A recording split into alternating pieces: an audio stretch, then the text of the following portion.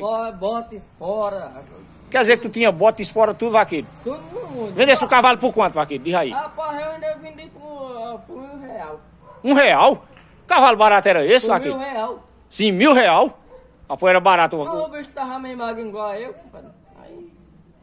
Mas agora já tá bom, não vai tirar correr mais não, que vamos embora, que não fecha o mercado. Apoio cuida, vaqueiro, senão o cavalo vai-se embora. Aí ele vai mesmo, que eu já vendi. Apoio cuida, senão o neto fecha e aí? Rapaz, aí eu vendi todo cana. Valeu, vaqueiro, valeu. Falou. O vaqueiro apaixonado. E agora o negócio é assim, apaixonado e amando. Olha, vaqueiro desenrolado. Esse vaqueirinho bota furando, viu? Vamos Olha, vai olha.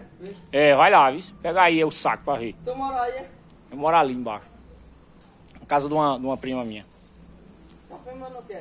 Vai lá, vaqueirão. Parou. Bota pegado, vaqueiro. Vai, desenrola pra nós ver como é que vai ser o acerto do caminho.